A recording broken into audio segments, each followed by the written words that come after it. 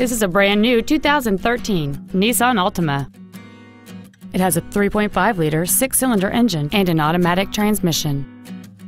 Features include a multi-link rear suspension, heater vents for rear seat passengers, a rear window defroster, 12-volt power outlets, front multi-stage airbags, latch-ready child seat anchors, rear seat child-proof door locks, an energy-absorbing steering column, a push-button ignition, and aluminum wheels. With an EPA estimated rating of 31 miles per gallon on the highway, you won't be making frequent trips to the gas pumps. Contact us today to arrange your test drive.